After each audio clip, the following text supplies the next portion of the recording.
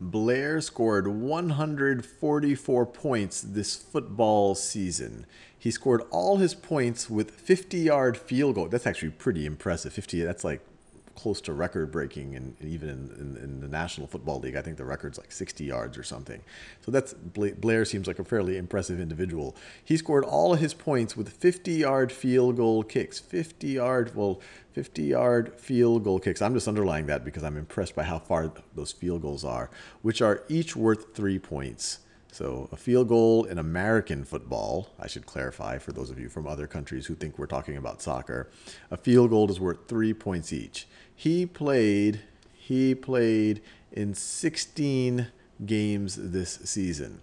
How many field goals did Blair make in each game? Assume he made the same number in each game. So this guy is incredibly is an incredibly consistent field goal kicker. He makes 50 yard field goals. He makes the same in every game.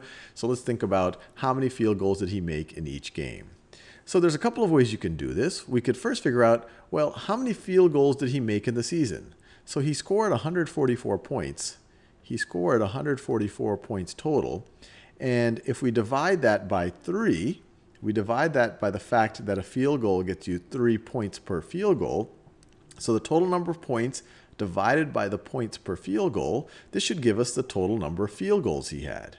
So this right over here is going to be equal to, so 3 goes into 144. Let me do this on the side right over here. 3 goes into 144. 3 goes into, doesn't go into 1, it goes into 14 four times. 4 times 3 is 12. Subtract. 14 minus 12 is 2. Bring down a 4. 3 goes into 24 perfectly. It goes exactly 8 times. 8 times 3 is 24. We have no remainder. So 144 divided by 3 is equal to 48. So all season, he has kicked 48, 48 field goals. Field, field goals. Now, we still haven't answered the question. How many did he make in each game? And we're assuming it's the same number in each game. So this is a total number across 16 games. To find out the average he makes in each game, we divide this by 16.